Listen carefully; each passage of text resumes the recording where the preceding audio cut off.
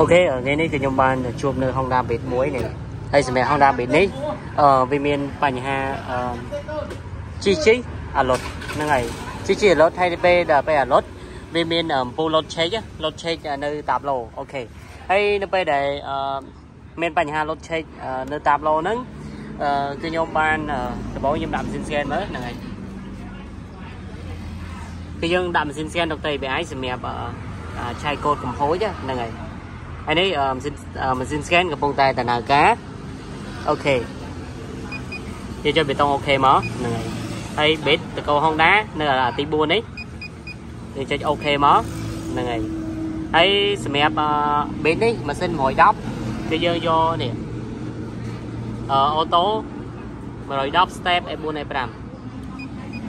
ចុច OK មកហ្នឹងហើយ អ្វីដែលយើងចង់មើលគឺយើងមើលការជាប់កូដមកតើវាមានជាប់កូដអីទៀតហ្នឹងហើយ OK OK នេះអឺបញ្ហាដែលជាប់កូដនេះអាទី1នេះគឺ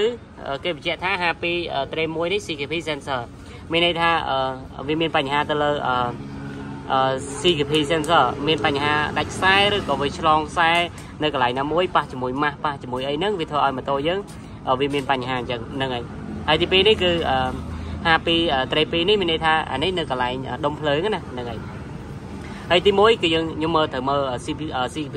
sensor ពេលច្រើនម៉ូតូដែលខ្ញុំធ្លាប់ជួបបទពិសោធន៍របស់ខ្ញុំជួបផ្ទាល់ហ្នឹងហើយរាល់ថ្ងៃគឺវាមានបញ្ហានៅកន្លែងខំ air នេះនេះមិនថា Scoopy 018ឬក៏ម៉ូតូ Zoomer ទេវាមានបញ្ហានៅកន្លែងនេះនេះឃើញទេនេះនេះស្នាមវាវាប៉ះឆ្លងជាមួយនឹងម៉ាស់នេះម៉ាស់ម៉ាស៊ីនហ្នឹងហើយនេះអានេះវាអាលីនេះ ឃើញអត់នៅពេលវាលាបែបហ្នឹងវាធ្វើឲ្យអាអាខ្សែលាហ្នឹងវាប៉ះជាមួយម៉ាស់បែបនេះដល់ពេលប៉ះមួយម៉ាស់អញ្ចឹង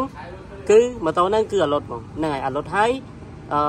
ដេវិញគឺផឹបផឹបផឹបអត់ចង់ឆេះទេតរាងយូរតអំពូលលុតឆេះហ្នឹងបាត់បានវាឆេះហ្នឹងហើយហើយជីជីយ៉ាងណាជីជីអាលុតហ្មងជីជីអាលុតជីជីអាលុតហ្នឹងហើយជាបញ្ហារបស់វាហ្នឹងហើយនេះខ្សែនេះអានេះខ្សែ CKP ដែលបងបងខ្លះគាត់ហៅថាភ្នែកដេឬក៏ magnetic ហ្នឹងឬក៏ខ្សែ magnetic ខ្សែវាគឺកន្លែងហ្នឹងហើយជាមួយខ្ញុំវះមើលខ្សែដែលខ្ញុំបានវះមកនេះនេះអានេះខ្សែមានខ្សែម៉ាញ់តិចហ្នឹងគឺវាមាន6ខ្សែហើយខ្សែដែលវាមានបញ្ហាប៉ះជាមួយម៉ាស់នេះគឺខ្សែពណ៌នេះគឺខ្សែពណ៌សឆ្នូតក្រហមនេះឃើញទេនេះខ្សែពណ៌សឆ្នូតក្រហម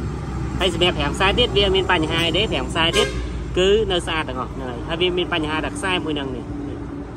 ខ្សែម៉ាតសៃនេះ អូខេហ្នឹងហើយម៉ាតសៃហ្នឹងដែលធ្វើឲ្យម៉ូតូរបស់យើងហ្នឹងគឺអាឡូតមកហ្នឹងគឺអាខ្សែហ្នឹងវាប៉ះជាមួយនឹងម៉ាស់នេះប៉ះជាមួយនឹងម៉ាស់ម៉ាស៊ីនណាហ្នឹងហើយនេះនេះអញ្ចឹងវាធ្វើឲ្យម៉ូតូយើងជីជីអាឡូតមកអញ្ចឹងវាវាធ្វើឲ្យម៉ូតូយើងគ្រោះថ្នាក់ដែរដោយសារតែបើយើងអត់ដឹងពីកំហូចរបស់វាគឺគឺយើងពិបាកក្នុងការជួសជុលហើយនេះជាម៉ាស៊ីន scan នេះនេះជាម៉ាស៊ីន scan Dr. ABI ដែលជា Dr. របស់ខ្ញុំ ដែលសម្រាប់ធ្វើការជួសជុលម៉ូតូបានលឿនហើយអឺចំណាយពេលវេលាតិចទេហ្នឹងហើយឃើញទេមិញខ្ញុំដឹងកូដថាកូដ CKP នេះគឺវាមានបញ្ហានៅកន្លែងខ្សែភ្នែកដេដល់ពេលអញ្ចឹងខ្ញុំមើលតាមកូដហ្នឹងទៅហើយខ្ញុំមកឆែកមើលនៅខ្សែភ្នែកដេមើលមើលតើវាមានបញ្ហាដាច់ឬក៏វាមានបញ្ហាឆ្លងម៉ាស់ដល់ពេលខ្ញុំមើលទៅវាមានបញ្ហាឆ្លងម៉ាស់មែនទេឃើញទេវាឆ្លងខ្សែហ្នឹងប៉ះជាមួយនឹងម៉ាស់ម៉ាស៊ីនវាធ្វើឲ្យម៉ូតូយើងគឺជាជារត់អូខេ ហើយជាមួយខ្ញុំធ្វើការតវិញហើយខ្ញុំធ្វើការ reset លុបកូដOK OK ខ្សែដែលវាមានបញ្ហានេះគឺខ្ញុំបានតភ្ជាប់រួចរាល់ហើយខ្ញុំធ្វើការគួចជាមួយនឹងនេះខ្សែឬនេះដើម្បីឲ្យវាឡើងណាដល់វាឡើងអញ្ចឹងទៅយើងស្រួលនឹងការកុំឲ្យវាប៉ះឆ្លងជាមួយនឹងម៉ាស់ទៀត OK ហើយយើងមកមើលនៅក្នុងម៉ាស៊ីន scan វិញហ្នឹងហើយយើងធ្វើការលុបកូដកំហុសវាចោល OK វាចុចប៊ូតុង OK មកយើងយកពាក្យថា Honda ហើយមើលម៉ាស៊ីន110អឺសេរីថ្មីពួក step A4 A5 អូខេហើយយើងមកមើលការចាប់កូនមើលនេះឃើញវានៅចាប់កូនដែរហើយយើងចុច back មកហើយយើងធ្វើការលុបវាអានេះ Honda Beat ហ្នឹងហើយចុចពីថាយក Pro មានមកនេះ